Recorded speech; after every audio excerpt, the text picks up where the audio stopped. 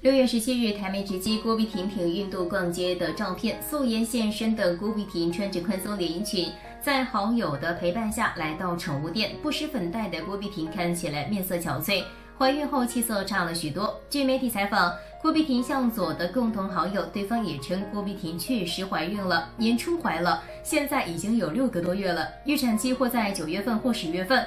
郭碧婷被曝怀孕六个多月，他们一家人选择低调，郭碧婷也没有晒出任何本人的近照。从好友之前晒出的照片来看，郭碧婷都有意遮挡肚子，怀孕似乎是呼之欲出了。郭碧婷一直是气质女神，喜欢小动物，看她看着手中的爱犬隐含爱意，就知道她以后肯定是个温柔的好妈妈。向左郭碧婷没有官宣怀孕喜讯，但是对于她怀孕的喜讯，似乎已经瞒不住了。更多时尚资讯，欢迎订阅《时尚风向标》。